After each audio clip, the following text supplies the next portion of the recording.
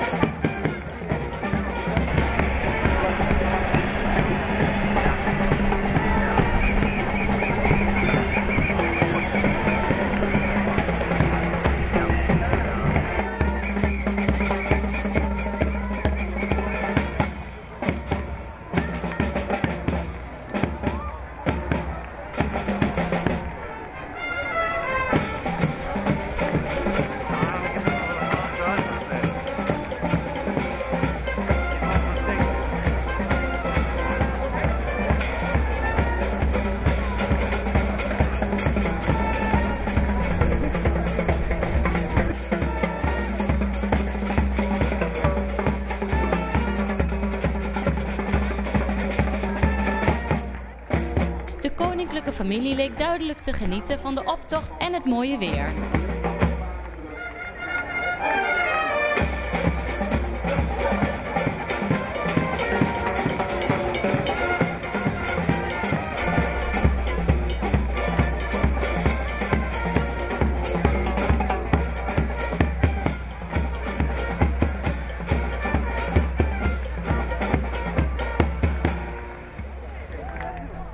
Op hetzelfde moment in een ander deel van de stad was Appelpop aan de gang. Bezoekers konden gratis genieten van de zon en vele optredens zoals Bluff, Case Joyce en Direct.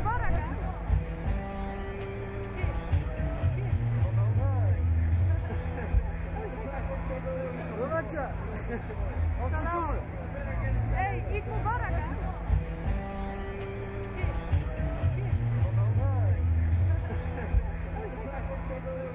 ました。